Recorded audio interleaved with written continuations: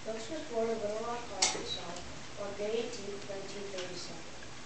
When Brooks had to with, he was just a sawed-off handle and a rock around the family.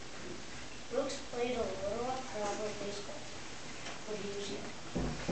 In high school, Brooks played baseball, basketball, and football. Brooks led his team with the Little Rock Trail when he was 11 and 12. Brooks would play basketball with Beth kids almost every day when he was also 11 and 12. On May 27, 1955, Brooks graduated from Little Rock High School. In 1957, Brooks officially became Little Rock. Brooks won two World Series in 1966 and 1970 with the Orioles. He played 15 straight All-Star games. Brooks is famous because he won two World Series with the Orioles.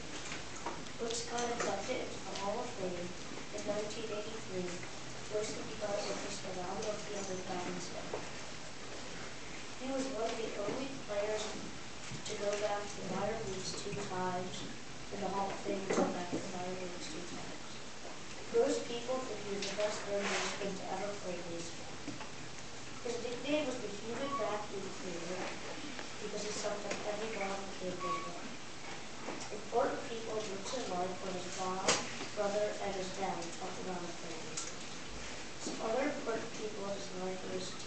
believe that his teammates on every team.